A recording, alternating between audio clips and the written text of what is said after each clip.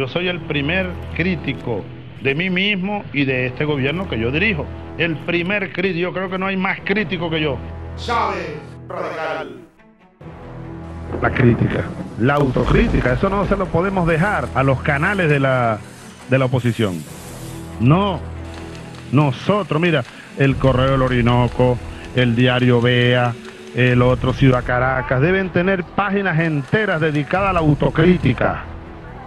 Que el pueblo tenga mecanismos, ay, que nosotros lo leamos. No le dejemos eso a canales de oposición que lo hacen de manera interesada para atacar al gobierno y siempre le dan la vuelta. La naturaleza burguesa es la prepotencia, complejo de superioridad. Entonces ahí no cabe la autocrítica. No, yo soy perfecto. No, que, que autocrítica.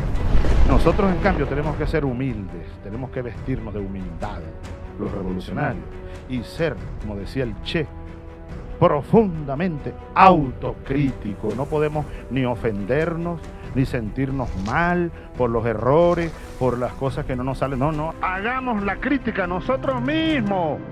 Pero nosotros mismos no tengamos ningún complejo. No, no, que eso le hace daño al proceso. No, no le hace daño, le hace bien al proceso. La crítica del pueblo, la autocrítica no le hace daño, le hace bien. Le hace bien. ¿Eh? Ahora, hagámosla con lealtad al proceso, con lealtad a los principios, no, no imbuidos por, por, por dañar a alguien, porque ya entonces la cosa viene envenenada, ¿ves? No, vamos de manera eh, ética, con moral, la autocrítica y la crítica. ¿eh? Y además tomando en cuenta aquello que está escrito, y es palabra de Dios, decimos los cristianos. Antes de criticar la paja en el ojo ajeno, mira la viga que a lo mejor, digo yo, tienes en el tuyo. A lo mejor cada quien tiene sus vigas, ¿verdad? Por eso es que uno tiene que salir de los palacios y de las oficinas y coger calle y oír al pueblo, que el pueblo lo interpele a uno, lo regañe, lo agarre por la pechera, lo arrastre. Ven acá, Chávez, como me arrastró una señora por aquí una vez y me arrastró y me llevó para arriba, agarró por la pechera y me regañó. Y me dijo cuando el golpe aquel de diciembre, después del golpe, vino el golpe petrolero, no había comida, no había pero ni ayaca, no había nada, la burguesía tratando de derrocar a Chávez por hambre, que el pueblo se alzara. Y la señora por aquí me agarró por la pechera y me dijo, ven acá, y me dijo, Chávez, mira, ahí estamos cocinando, será piedra con, la, con las patas de mi cama. ¿Tú sabes qué madera es esa? Estaba ardiendo la leña, estaba cocinando con leña, no había gas, no había gasolina. Y entonces me dijo, estamos cocinando un arrocito, Chávez, para mi marido que está enfermo, no caminaba, y mis hijos, en la azotea de un rancho aquí.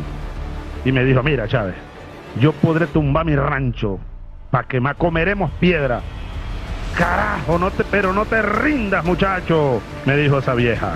Una mujer negra, sólida, grande, inmensa, gigante, una giganta no te rinda. Y le dije, no me rendiré, que cómo voy a rendirme yo con ese reclamo del pueblo. Entonces uno tiene que salir, darle la cara al pueblo, a los reclamos de los trabajadores, de las mujeres, de los niños, de los estudiantes, y no refugiarse ni darle la cara para acá o voltearse para otro lado. No, para poder gobernar en función de lo que el pueblo reclama.